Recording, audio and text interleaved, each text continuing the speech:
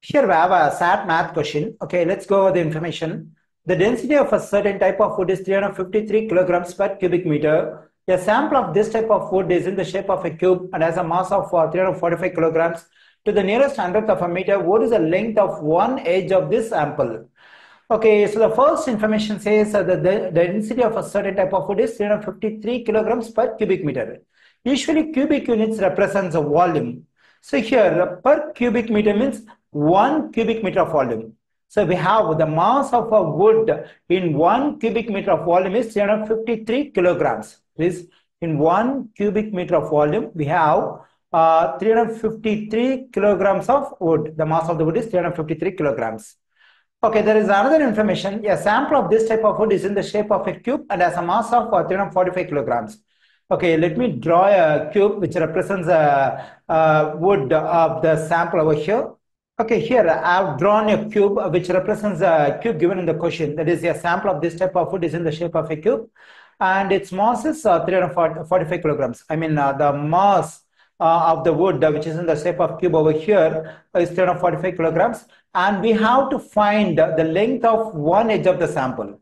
Okay, since we have to find the length of one edge of this uh, cube, so what I need to do is uh, I'm going to assume the length of each edge of this cube is x meters. So here we have x meter, here we have x meter, here we have x meter.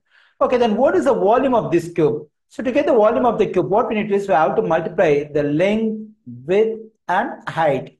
So to get the volume of the cube, I'm going to multiply the length x meter times the width x meter uh, times the height x meter. So in this volume, uh, the mass of food we have is 345 kilograms according to this, according to the information we have in the question. So 345 kilogram. So when I multiply x times x times x, I'm getting uh, x to the third power. When I multiply this meter, meter, meter, I'll be getting cubic meter. So we have 345 kilogram of food over here. So in the volume of uh, x cube cubic meter, we have the wood, uh, I mean, uh, the mass of wood is 345 kilogram. Okay, already we have the information. So in the volume of one cubic meter, the mass of uh, wood is 353 kilograms.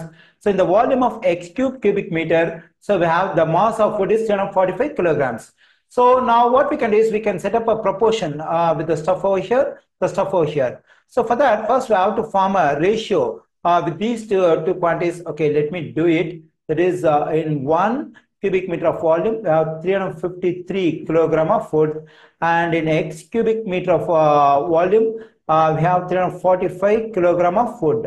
So these two ratios must be equal because uh, both the both the woods are of uh, same type. Okay, now we have a proportion because the ratio here, the ratio here are equal. So to solve for x, my aim is to solve for x because x represents the length of one edge of this cube. That's what we have to find according to the question. So for that, what we can do is we can write each ratio as a fraction. So then I'll be getting 1 over 353 equals to x to the third power over 345. Okay, to solve for x first, I have to get up the denominator over here. So for that, I multiply uh, both sides by 345. So when I do so, this 345, 345 will cancel out. I'm getting 345 times 1 is just 345 over 353 equals to, on the right side, we just have x cube. So okay, to solve for x, what we need is we have to get rid of this cube. For that, we have to take cube root on both sides. So let me do it. So when I take cube root on both sides, this uh, cube root and this cube will cancel out. So and also the when I evaluate this value using our calculator, so I'm getting 0.99 and it keeps going equals to, we just have x on the right side. So when I round this value to the nearest hundredth, according to the information we have over here, so I'm getting 0.99 as the value of x. So the length of one edge of the required cube over here is 0.99 meters. So the correct answer choice for this question is option B.